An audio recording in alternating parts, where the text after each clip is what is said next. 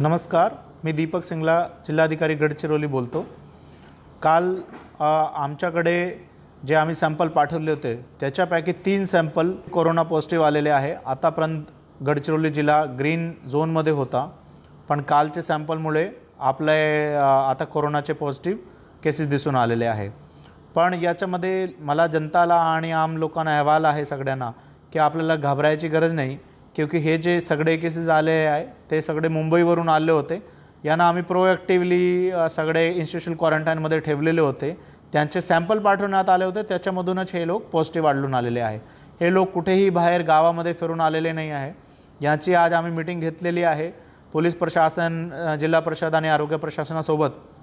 आणि आता आम्ही कंटेनमेंट झोनची प्लॅनिंग करतो.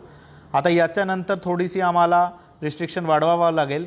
याच्यासाठी सगळे जनताचे सगळे लोकाचे आम्हाला सहकार्य लागेल. आम्ही परत आवाहन करतो की पॅनिक व्हायची आपल्याला कुठलीही गरज नाही आहे. आम्ही पूर्ण प्रशासन चौकशीबद्ध आहे आणि सगळे ॲक्शन घेत आहे.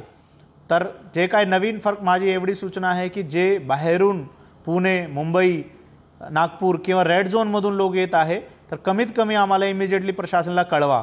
त्याच्यामुळे आम्ही त्यांना इमिजिएटली इन्स्टिट्यूशनल क्वारंटाईनमध्ये ठेवू आणि तात्काळ त्यांचा उपचार सुरू करू. आम्ही नक्की आहे की आम्ही आपले प्रयत्नामुळे आणि स- सगळ्याच्या सहकार्यामुळे या कोरोनावर मात करू आणि परत गडचिरोली जिल्ह्याला ग्रीन झोनमध्ये आणू. जय हिंद जय महाराष्ट्र.